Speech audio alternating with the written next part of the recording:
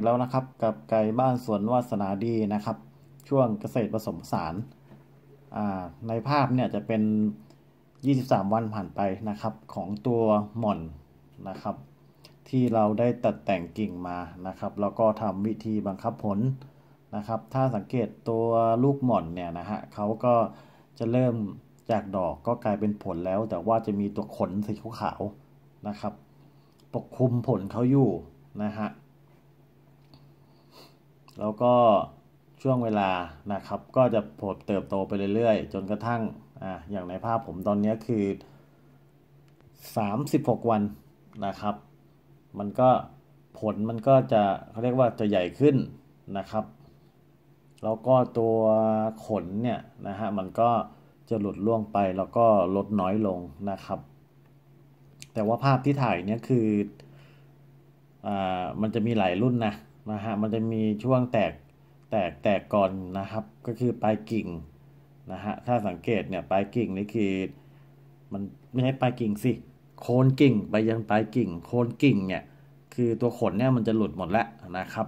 ส่วนพวกปลายกิ่งเนี่ยก็ยังจะมีขนนะฮะปกคลุมสีขาวๆอยู่นะครับอย่างภาพนี้คือ 36 วันแล้วนะครับ บางผลเนี่ยนะถ้ามันออกก่อนมันจะมีสีดำๆ นะครับ อย่างภาพณตอนนี้นะครับก็คือผ่านไป 44 วันนะครับ ตัวผลนี่ก็เริ่มใหญ่ขึ้น สีเริ่มเปลี่ยนไปเรื่อยๆ สีเริ่มเข้มขึ้นนะครับจะออกขาวนะครับแล้วก็ชมพูแล้วก็ไปแดงนะครับ ผลที่ออกมาก่อนก็จะมี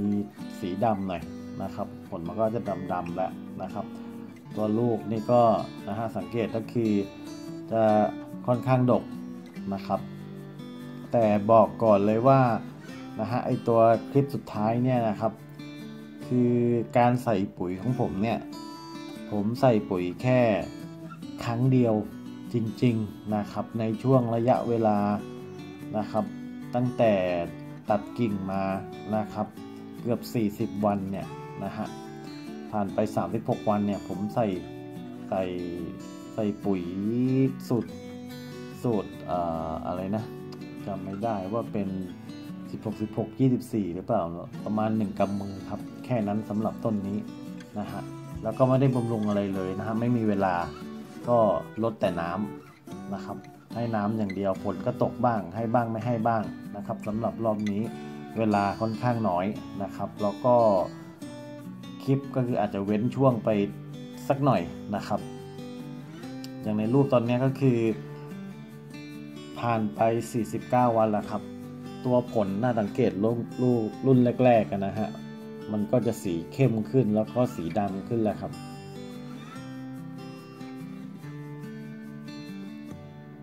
เดี๋ยวผมจะแผนกล้องให้ค่อย ๆดูไปนะครับ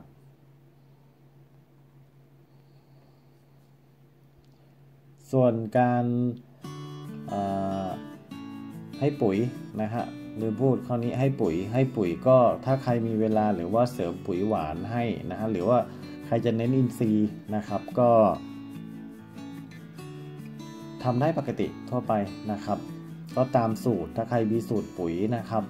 เร่งหวานเร่งอะไรอย่างเงี้ยตามเขาเรียกอะไรอะตามสูตรของ อินซีเอออินซีแปลงผมเนี่ยต้องบอกก่อนว่าต้นนี้คือมันอยู่ในเมืองพออยู่ในเมืองปุ๊บเนี่ยในเรื่องอินซีผมไม่ค่อยสะดวกเท่าไหร่นะฮะใส่ได้ก็คือเป็นพวกปุ๋ยมูลสัตว์นะครับ รอบนี้ต้นนี้บอกเลยว่า ได้ปุ๋ยน้อย ส่วนใหญ่ได้น้ำแล้วก็เป็นพวกเศษใบหญ้าใบไผ่เท่านั้นเองแล้วก็ ได้ได้ทำตอนที่ว่าตัดแต่งกิ่งรอบเดียวจริง ๆ ครับ เราก็ไม่ทำอะไรเลย ก็คือต้นเนี้ยนะฮะอาศัยปุ๋ยที่เขาสะสมมาในตัวนะฮะอย่างเดียวแล้วก็ก่อนที่ก่อนที่จะได้ตัดแต่งกิ่งเนี่ยผมก็ได้ทำปุ๋ยไปแค่ 2 รอบนะฮะใส่ปุ๋ยไป 2 รอบนะครับจะพยายามเน้นอินทรีย์ให้ได้มากที่สุดนะครับ แต่ว่าด้วยได้อะไรหลาย ๆ อย่างก็จะมี พวกปุ๋ยเคมีซึ่งเป็นสูตรเสมอบ้าง แต่ก็จะใส่ไม่เยอะครับนะฮะตามสเต็ปก็ดูตามภาพผลที่ออกมานะครับก็ ถือว่าพอรับได้นะครับกับตัวต้นหม่อนนะครับ อายุนะฮะไม่ถึง 1 ปีนะต้นนี้น่าจะประมาณเกือบเกือบปีแล้วแหละครับ11 เดือนนะครับประมาณนี้ถ้าจำไม่ผิดนะครับ น่าจะอยู่ประมาณนี้ฮะ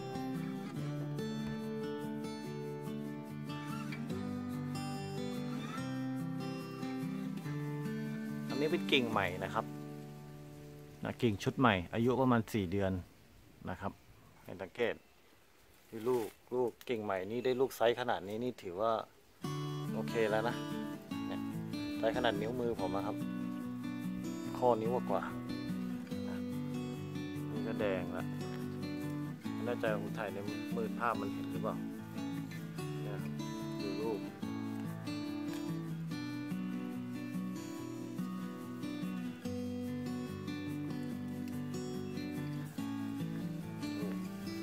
ใหม่อายุ 4 เดือนนะครับ แล้วก็ให้ดูของนะลูกค่อนข้างดีเลยครับ ไซส์ลูกค่อนข้างใหญ่เลยแหละเนี่ยดูนิ้วมือผมนะ ข้อนิ้วกว่าข้อนิ้วครึ่งนะครับ แต่ละลูกใหญ่พอสมควรเลยครับ แต่ว่ามันจะไม่ค่อยดก คือลูกมันจะห่าง ลูกมันจะไม่เป็นกลุ่มเป็นก้อนนะครับ กิ่งนี้ตั้งแต่นี้กิ่งนี้สมบูรณ์ดีครับ เห็นไหมไกลเนี่ยลูกใหญ่เลยแหละ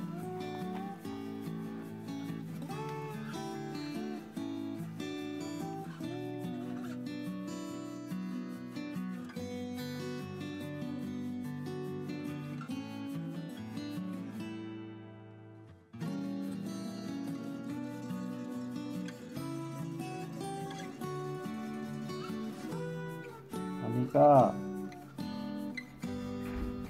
เข้าประมาณ 50 วันนะครับ ตามโลกอาจจะเป็น 50 วัน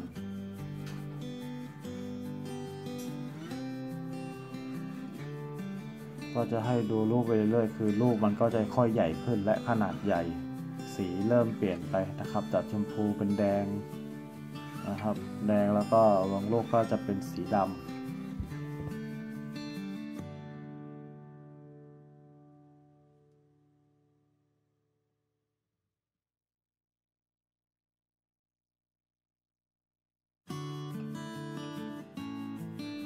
นี้คือ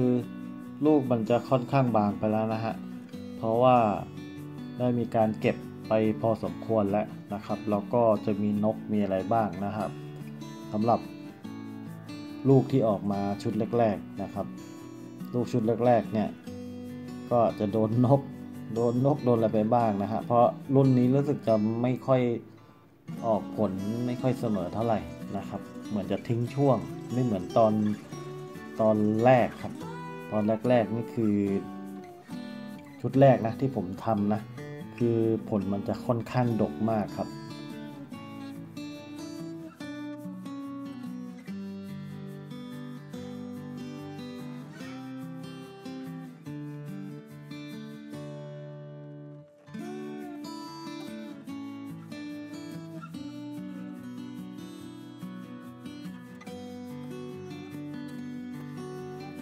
ตอนนี้ก็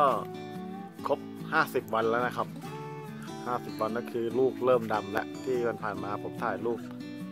ถ่ายวิดีโอก็คือลูกยังไม่ค่อยดำเท่าไหร่ อันนี้ดำแล้ว อันนี้เก็บไปประมาณ 4 ตะกร้าแล้วนะครับ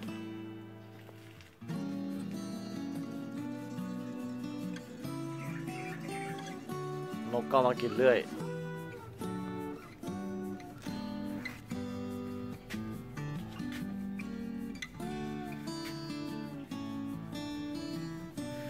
ผลก็พอได้นะครับ ก็คือลูกไซส์ลูกนะครับ ไซส์ลูก เหมือนจะ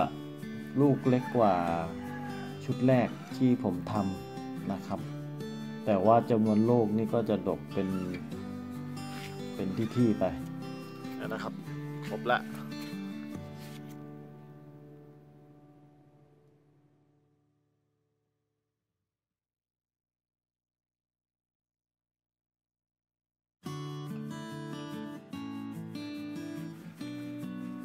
ที่ติดกิ่งนี่ลูกเริ่มดำหมดแล้วครับ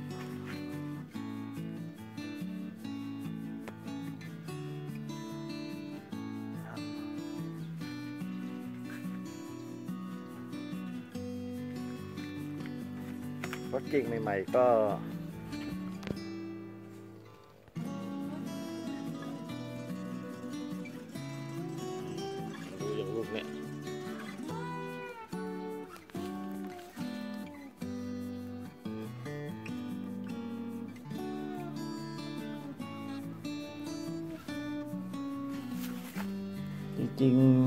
รับคลิปนี้นะครับ ก็เป็น 6 ขั้นตอนนะครับ วิธีบังคับหม่อนให้ออกผลนอกฤดูนะครับ ก็น่าจะจบลงนะฮะ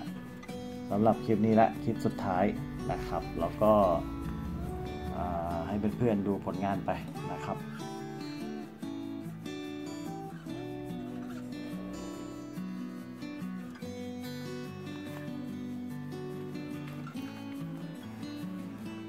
นี่ครับลูกใหญ่ๆทั้งนั้นนี่นิ้วผม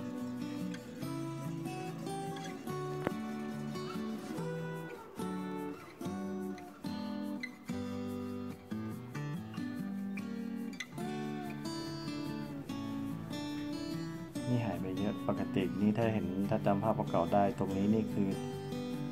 ตอนมีลูกเล็กๆ นี่คือดกมากนะ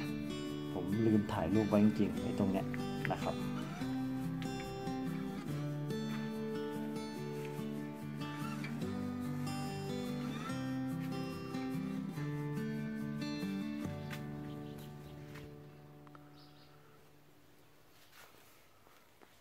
นะสำหรับคลิปนี้นะครับ ตั้งแต่เริ่มต้นมานะครับตัดแต่งกิ่งรูดใบใส่ปุ๋ยนะครับ ก็ขอจบปิดท้ายนะครับ ปิดท้ายโปรเจกต์นี้นะครับสำหรับบังคับหม่อนออกผลนะครับ หวังว่าจะมีประโยชน์ไม่มากก็น้อยสำหรับเพื่อนๆ พี่ๆ น้องๆนะครับ แล้วก็ขอปิดท้ายด้วยภาพสวยๆของหม่อนนะครับ ลูกผลสีดำนะครับ หวังว่าคลิปจะมีประโยชน์ไม่มากก็น้อยสำหรับเพื่อนๆที่ติดตามชม ถ้าชอบอย่าลืมกดไลค์ กดแชร์ กดติดตาม เพื่อเป็นกำลังใจในคลิปต่อไปนะครับ ฝากกดติดตามช่องวาสนาดีโฮมนะครับ พิมพ์เป็นภาษาอังกฤษนะครับ ที่ Google หรือ YouTube นะครับ แล้วเจอกันใหม่คลิปหน้า คลิปนี้นะฮะลาไปก่อนกับภาพสวยๆแล้วเจอกันใหม่ ครับ